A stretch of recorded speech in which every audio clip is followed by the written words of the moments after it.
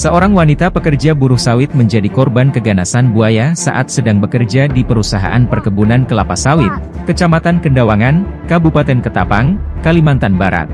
Akibat gigitan buaya tersebut, korban mengalami luka parah di bagian kaki kiri, kaki kanan, betis, dan paha.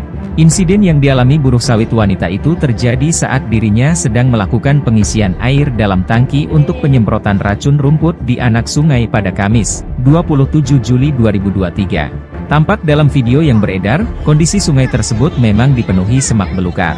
Korban bernama Valmira De Yesus yang tak curiga ada buaya mengintainya seketika ditarik binatang predator tersebut ke dalam sungai.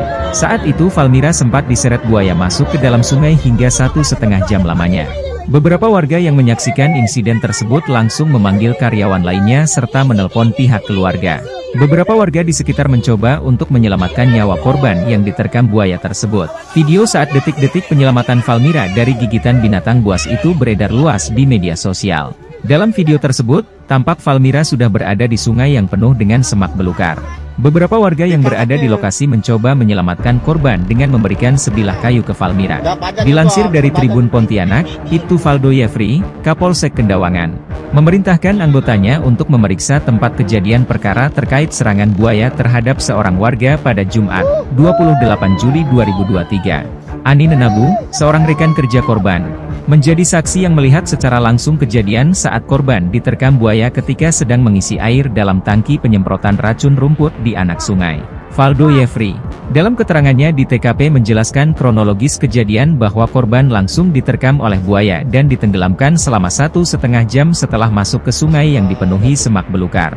Setelah melihat hal tersebut, saksi bersama rekan-rekan kerjanya berteriak meminta pertolongan dari karyawan panen di sekitar dan menghubungi semua keluarga untuk segera datang ke TKP.